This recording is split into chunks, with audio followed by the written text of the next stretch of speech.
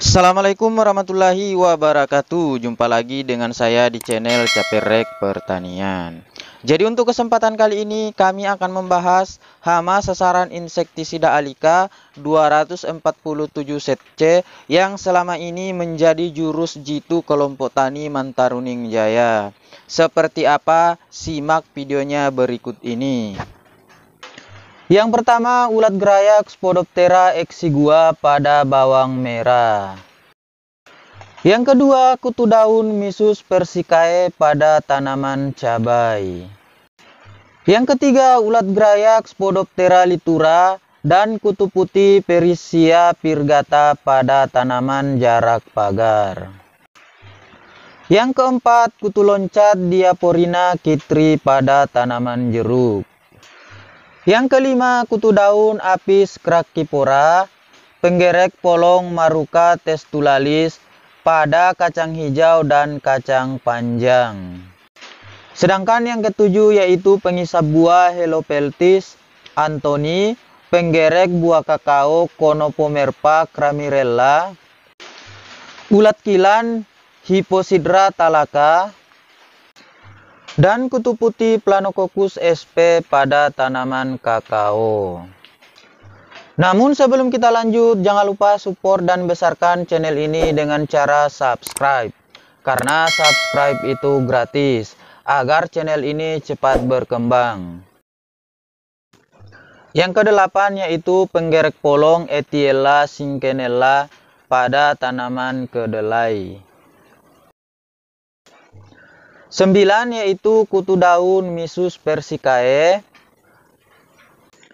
dan penggerek umbi Pitorimae opercurella pada tanaman kentang.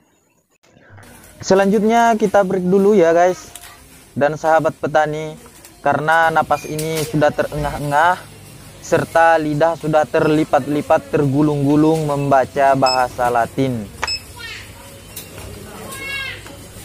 10 yaitu kutu hijau Coccus viridis dan kutu putih Planococcus citri pada tanaman kopi.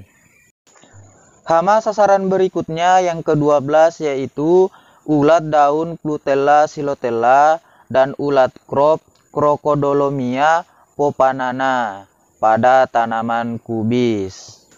Hama yang ke-13 yaitu wereng mangga Idiokerus sp dan penggerek buah mangga Norda albisonalis.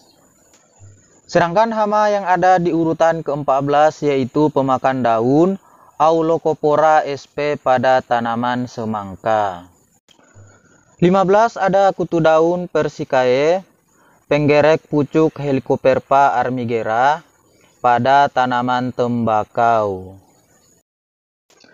Sedangkan hama yang ada di urutan terakhir terdapat ulat buah Heliotis armigera, kutu kebul Bemisia tabaci, dan kutu daun Misus persicae pada tanaman tomat.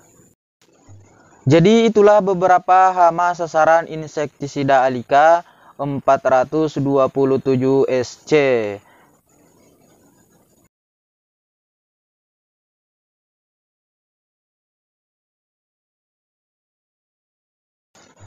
Sebagai penutup di sini saya menegaskan bahwa saya dan pemilik produk sama sekali tidak ada hubungan. Namun insektisida ini saya dapat pada petani senior yang sudah mengaplikasikannya di lapangan. Sekian dan terima kasih. Salam sukses dari channel Caperrek Pertanian. Wassalamualaikum warahmatullahi wabarakatuh.